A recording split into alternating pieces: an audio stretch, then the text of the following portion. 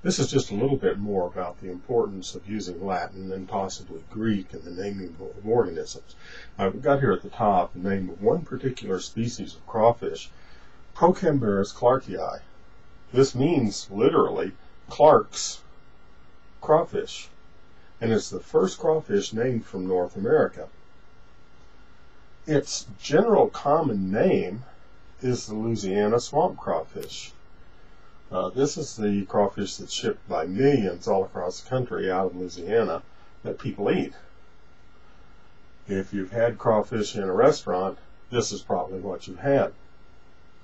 Now, there's a, there's a couple of problems, and, and again, this emphasizes the importance of scientific naming and scientific naming in, in Latin. Um, this is just one species of crawfish of over 200 species that are in North and Central America. There are many more species worldwide.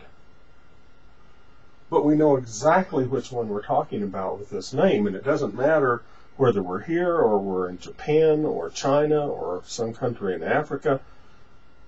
There, anybody dealing with this species is dealing with Procambarus clarkii.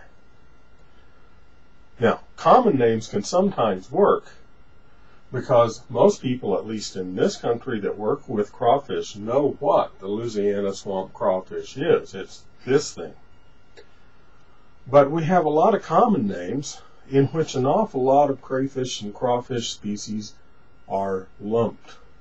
And these include crawfish, crayfish, and crawdad, very common in usage in North America, Flusskrebse, for the same kind of organism in Germany, Écrevisse for the same kind of organism in France, Mudbug, kind of a neat little name for them down in Louisiana, and Yabby, which is the name for them in Australia.